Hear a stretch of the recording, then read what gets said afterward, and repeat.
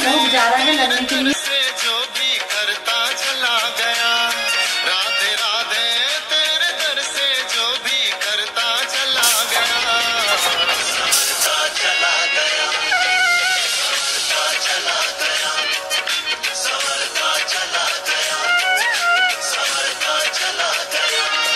भगवान की पूजा तो बगैर किसी सजावट के हो ही नहीं सकती है। हालाँकि टाइम थोड़ा सा कम है और कल भी पूरी दिन मतलब मैं लगी रही थी। तो मैं एक छोटा सा बैकड्रॉप बनाऊँगी ज़रूर और ये बनेगा एक पाइप के जो ये टुकड़े होते हैं इनसे। और थोड़ी सी भी सजावट अगर हम पूजा में कर लेते हैं ना तो चार चाँद लग जाते हैं। तो बिल्कुल इसी तरीके से ये राउंड शेप का एक पाइप का बना हुआ बैकड्रॉप है, जिसको कि मैं लगाने वाली हूँ राधा अष्टमी पे। और उनका एक बहुत ही सुंदर सा मंदिर छोटा सा मंदिर तैयार करूँगी। आज है ट्वेंटी थर्ड और आज है अष्टमी। राधा अष्टमी का दिन है आज। आज मेरा रहेगा व्रत और इस तरह से ही रखती हूँ, ये आपको मैंने लास्ट वीडियो में बता दिया था। तो आज ना मतलब मैं बहुत ही जल्दी मॉर्निंग में उठ गई थी। लेकिन इतना काम आज हुआ है ना मैंने इतना काम किया है कि आ, वो सब काम को क्योंकि अब काम क्यों किया ये भी बताती हूँ क्योंकि कल जो है मैंने घर में जो भी काम जितना हो रखा था उतना करवा के अब रुकवा दिया है। मतलब पॉज मोड में ले आई हूँ क्योंकि अब जो भी दिन आएँगे उनको मैं आ, उनको खराब करके और फिर मैं घर के काम कराऊं ये नहीं कर सकती आ, क्योंकि मुझे अपना पूरा कॉन्सेंट्रेशन उस चीज़ में देना पड़ता है जो घर में हो रहा होता है सारा देखना पड़ता है। किसी भी फेस्टिवल को मनाने के सबके कुछ अलग अलग तरीके होते हैं और मैं जैसे मनाती आई हूँ, हमेशा वैसा ही करती हूँ। किसी मतलब किसी की सुन के मैं कुछ भी चीज़ अपनी नहीं बदलती हूँ। तो सबसे पहले सुबह के टाइम राधा रानी का और लड्डू गोपाल का एक नॉर्मल सिंपल जल से स्नान करा के मैं उनका श्रृंगार कर देती हूँ। तो राधा रानी का श्रृंगार होता है, बिल्कुल उसी तरीके से ठाकुर जी का श्रृंगार होता है और थोड़ा सा बस अच्छे वस्त्र पहना के उनको अच्छी अच्छे अच्छे जो उनके आभूषण हैं उन्हें धारण करा के मैं उनको स्थापित कर देती हूँ। और अभी तो फ़िलहाल मैंने उन्हें मंदिर में ही स्थापित किया है और उसके बाद मैं उनके लिए अलग से एक बैकड्रॉप तैयार करूँगी और जहाँ पे चौकी लगाकर मैं उनकी कुछ विशेष पूजा और आराधना करने वाली हूँ।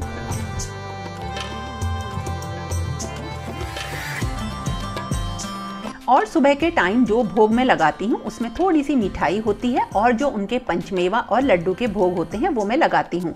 तो जैसी रोज की पूजा होती है, वो मैंने सुबह की पूजा कर ली है और अब मैं उनका सजाऊँगी, मंदिर और साथ के साथ बनाऊँगी कुछ अच्छा सा भोग। इस बार थोड़ा सा समय का मतलब कमी थी, इसलिए मैंने एक नॉर्मल सा बैकड्रॉप तैयार किया। लाइट वगैरह नहीं लगा पाई तो ये एक छोटा सा मंदिर होता है। और मंदिर तो अपने मन में होना चाहिए, और इसी के साथ साथ ना एक चीज़ और बताती हूँ, जहाँ पे हम मंदिर बना सकते हैं। ये तैयार हो गया एक बैकड्रॉप जो कि बहुत ही सुंदर लग रहा है। थोड़ा सा मुझे ये हल्का सा लगा ऐसा नहीं लग रहा कि बहुत ज़्यादा ये वेट ले लेगा, लेकिन हाँ काम चलाने के लिए बहुत ही अच्छा मतलब एक बढ़िया बैकड्रॉप तैयार हो जाएगा। तो इससे मंदिर ना, मंदिर क्या, जो चौकी लगेगी ना या राधा रानी की और लड्डू गोपाल की, वो बहुत ही सुंदर लगने वाली है। तो इस तरह से एक मंदिर बन जाता है और हाँ आप ना एक मंदिर अपने मोबाइल पर भी बना सकते हो। जैसे सबके ना अपने एक इष्ट देव होते हैं, एक किसी विशेष भगवान में आस्था होती है। तो सुबह उठ के उन्हें फूल चढ़ाना, उनकी आरती करना, भोग चढ़ाना, प्रसाद लगाना, ये हम सब करना चाहते हैं। तो ये सब ना एक बहुत ही बढ़िया ऐप में आप कर सकते हैं। मतलब उसके इतने इतने ज़्यादा उसके डाउनलोड्स हैं और पर्सनली वो मुझे भी बहुत ज़्यादा पसंद है। तो आप पूछोगे कि वो कौन सा वाला मोबाइल ऐप है? तो वो है श्री मंदिर ऐप। तो श्री मंदिर ऐप में आप अपना एक पर्सनलाइज्ड मंदिर, अपने लिए, एक अपने इष्ट देव के लिए मंदिर बना सकते हैं। तो उसमें आप ना जो मंदिर आप बना रहे हैं, उसमें आप फूल चढ़ाइए, उनकी आरती करिए, भोग प्रसाद लगाइए, ये सब संभव हो जाता है उस एक अपने मोबाइल में बने हुए मंदिर से। श्री मंदिर मोबाइल ऐप पर आपको ना सनातन धर्म से जुड़ी सारी चीज़ें मिल जाएँगी और मैं तो ये कहूँगी, ये एक बिल्कुल वर्चुअल एनसाइक्लोपीडिया है सनातन धर्म के लिए। जैसे रामायण है, महाभारत है, बहुत सारे ग्रंथ हैं, श्लोक हैं, मंत्र हैं, आरती हैं और बहुत सारे, जिसे कहते हैं ना, कहानियाँ हैं इस मोबाइल ऐप में, जिससे कि आपको अपने धर्म के बारे में एक सही और सटीक जानकारी मिलती है। कभी कभी हम किसी मंदिर में ना जा नहीं पाते हैं। अक्सर होता है, मेरे साथ भी हो सकता है। अब जैसे देखिए, घर में बुज़ुर्ग होते हैं, वो नहीं जा सकते या बीमार हैं।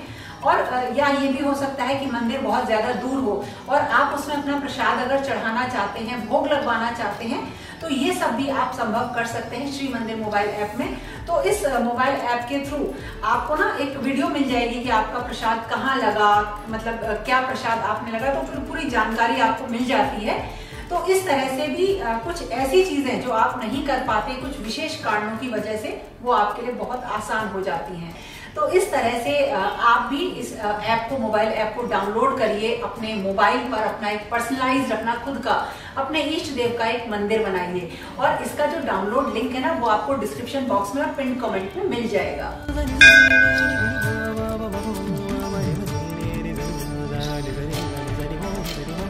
श्री कृष्ण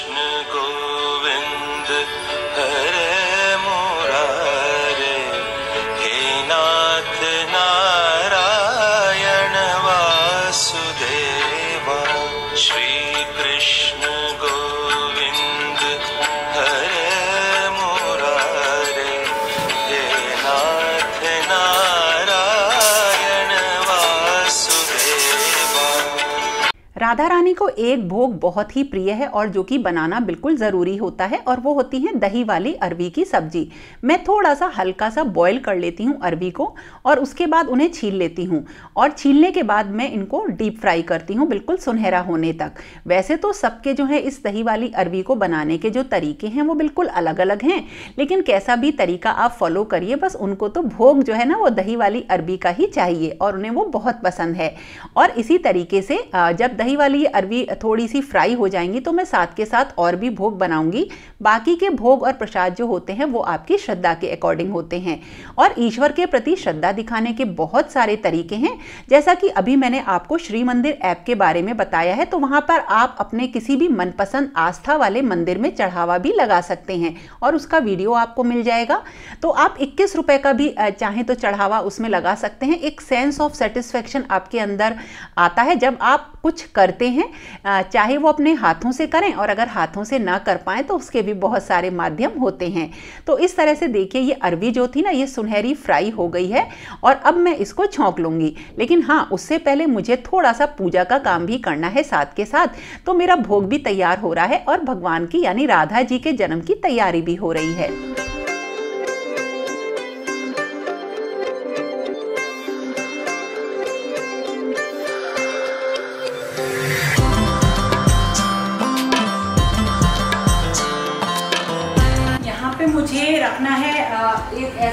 एक ऐसा मतलब बर्तन जिसमें कि उनका जो है पंचामृत से स्नान होगा मतलब पाँच चीनों से स्नान होगा, और उसी के साथ में एक दूसरा बर्तन रखूँगी जिसमें कि उन्हें फिर जल से स्नान कराएँगे।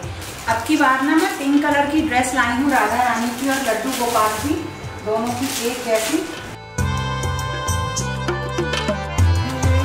दही वाली अरवी बनाने का जो तरीका है बहुत ही आसान है। थोड़ा सा देसी घी मैंने लिया क्योंकि आज व्रत है इसलिए लिया है देसी घी। कोई कुकिंग ऑयल भी आप ले सकते हैं। थोड़ा सा अजवाइन डाला और जितने भी ड्राई मसाले और नमक डाल के इसमें डाल देंगे थोड़ी सी दही।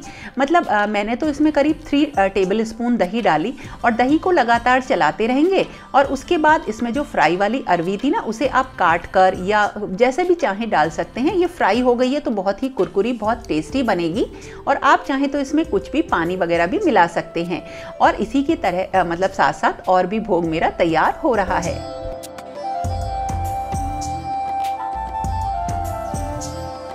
तो सबसे पहले फूल। ले जा और ये हो गया सारा सामान जो है अभिषेक का। और जल्दी जल्दी कर रही हूँ, क्योंकि टाइम पे ख़त्म करना है ना ये।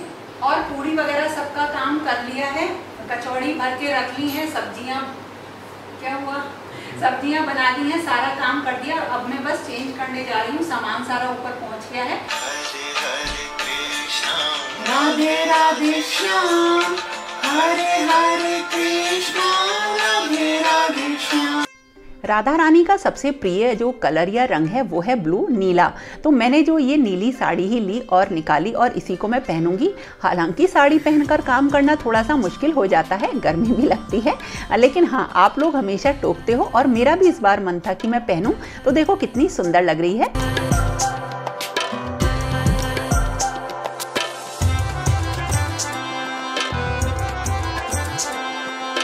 और अब 12 बजने में सिर्फ़ एक या दो मिनट बाकी हैं तो पहले मैं करूँगी राधा रानी का अभिषेक, महाअभिषेक और फिर करूँगी अपने लड्डू गोपाल का। और राधा रानी को ना स्नान तो मैंने एक बार करा दिया था, और अब मैं उनका अभिषेक करा रही हूँ, और अभी सुबह के दीपक ना जल रहे हैं।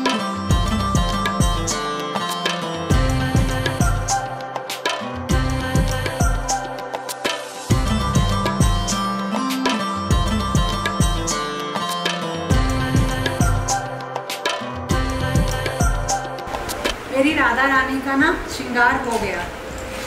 और बहुत टाइम लगता है राधा रानी का श्रृंगार करने में। चलो आपको दिखाती हूँ मैं।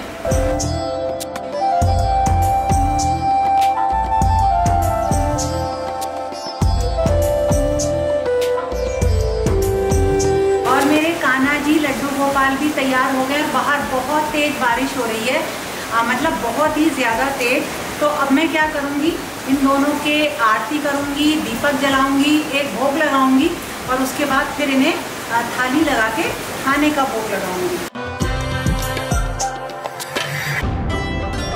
एक भाव से करी गई पूजा प्रभु हमेशा स्वीकार करते हैं तो जैसा भी आपका भाव हो, श्रद्धा हो और सामर्थ्य हो, उसके अकॉर्डिंग अपनी एक पूजा या भक्ति प्रभु की ज़रूर करनी चाहिए। और ये किसी स्वार्थ के वश नहीं होती है कि अगर हम पूजा या सेवा करेंगे तो इसका हमें कुछ फल मिलेगा। तो ये सब एक निस्वार्थ भावना से प्रभु की भक्ति करिए, बाकी तो वो बैठे ही हैं आपकी सारी परेशानियों का हल लेके।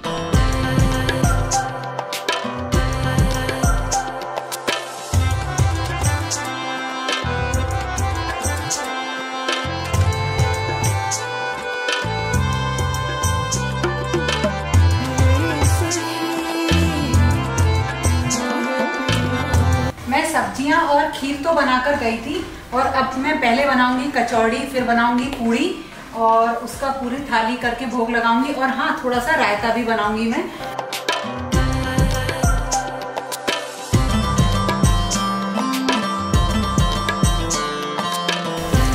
इसमें खीर है, ये सब्ज़ी है, एक सब्ज़ी इसमें है तो सब सब्ज़ियाँ तैयार हैं, बस कचौड़ी थोड़ी धीरे धीरे सीखेंगी।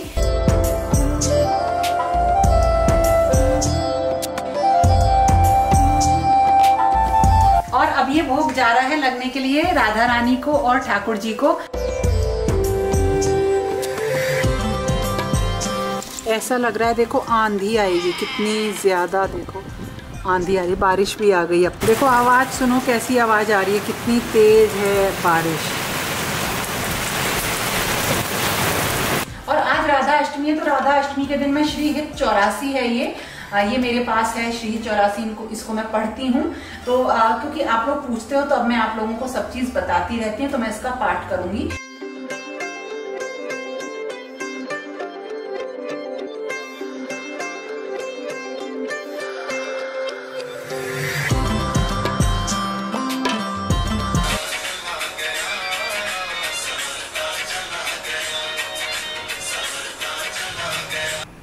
मैंने पंचामृत ले लिया था। उसके बाद पंचामृत लेने के बाद मैंने अपना व्रत खोल लिया है।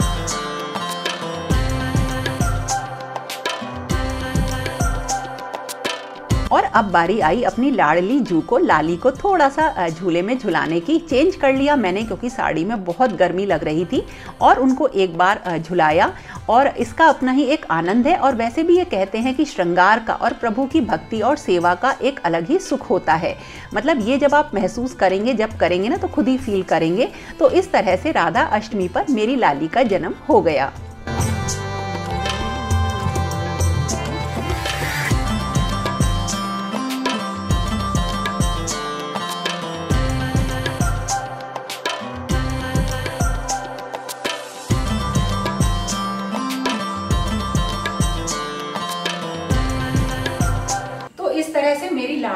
का जो जन्मोत्सव है वो संपन्न हुआ और खूब तो बारिश हुई, खूब गर्मी भी हुई, खूब अच्छे अच्छे भोग भी लगे हैं दिन भर, जैसे खाने का, पान का, इन सब का, मिठाई का सबका भोग मैं लगाती रही। तो देखो, मैं जितनी सेवा कर सकती थी, उतनी करी और आगे भी कोशिश करूँगी इसी तरीके से कि मैं उन्हें उनका भक्ति पाऊँ और उनके चरणों में स्थान पाऊँ। तो मैं तो यही बस उनसे मांगती हूँ कि हे राधा रानी, मुझे अपने चरणों में हमेशा स्थान देना और हमेशा सबको मनोवांछित फल देना जो भी जो चाहता है तो दोस्तों मेरी राधा रानी से यही प्रार्थना है कि जितने भी आप सब लोग हो आपको भी अपने मनोवांछित फल की प्राप्ति हो और हमेशा आप सुख और हेल्थ से भरपूर रहे और आपका परिवार हमेशा सुखी संपन्न और हेल्दी रहे। और हाँ मनोवांछित फल तो मिले ही। तो इस तरह से ए, आ, जो है मैं त्योहार मनाती रहती हूँ। तो कल ही काम खत्म हुआ तो, तो जितना भी मैं कर सकती थी मतलब जितना संभव हो सकता था उतना मैंने करने की कोशिश करी। तो बाकी जो मैं नहीं कर पाई उसके लिए राधा रानी मुझे अवश्य क्षमा करेंगी। तो ये था मेरा आज का वीडियो। कैसा लगा आपको? अगर पसंद आए ना तो लाइक ज़रूर करना। और हाँ जो मैंने आप लोगों को श्री मंदिर ऐप के बारे में बताया ना, वो रियली बहुत अच्छा है। जब आप उनके भजन वगैरह सुनेंगे ना तो आपको बहुत अच्छा लगेगा। खुद फील होगा कि घर का एक माहौल जो है वो बदल चुका है। आ, तो उसको डाउनलोड आप कर लेना। लिंक आपको डिस्क्रिप्शन बॉक्स में उसका मिल जाएगा। तो दोस्तों फिर मिलेंगे एक नई और इंटरेस्टिंग वीडियो के साथ। तब तक के लिए okay friends thank you and Radhe Radhe Shri Radhe जय श्री राधे राधे श्याम।